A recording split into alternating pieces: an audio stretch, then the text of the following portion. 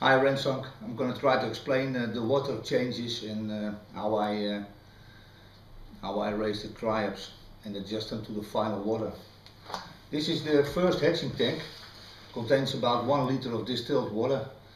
I put the detritus, the sand, the eggs in here, let them hatch and after five, six days I put them in a bigger tank because they need it, they grow and they need more water. I put the water just in here. This one floats as the hatching tank did as well in the final tank. And every day when I clean up with a syringe or a pipette or whatever, the water I take out and put in the waste bin, I replace it with the final tank water.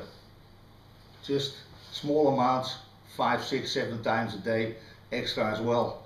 So what you get, the water level is getting more and more and more mixed up with the original distilled water and the running tank water has uh, this normal tank water with uh, no chlorine in it and there's a filter with uh, carbon as well.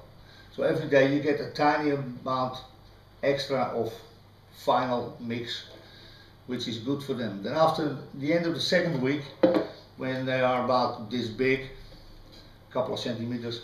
They're ready to go in the final tank, which they are in now.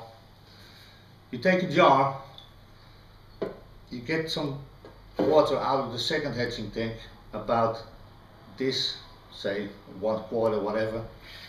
You fish them out with a net. This is a special shrimp net. It's more shallow than a normal fishing net. You put them in here with this amount of water.